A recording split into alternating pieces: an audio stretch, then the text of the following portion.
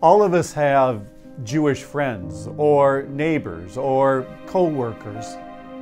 And some are some are practicing faithful, some are high holy days, some are maybe only kind of feel it culturally. But the fact is the Jewish people go back to like the 19th century BC with Abraham. And during this whole time, nobody else, no other people on earth have been tried to be systematically eradicated than the Jews.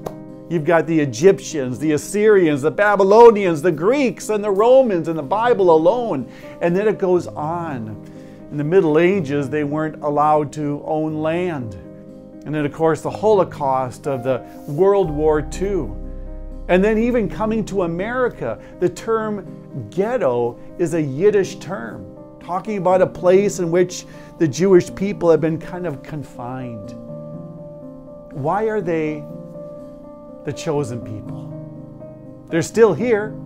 After all of that systematic eradication, they're still here.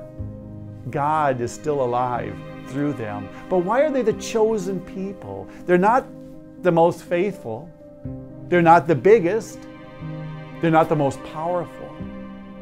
Why are they the chosen people? The Bible says because because God chose them out of love.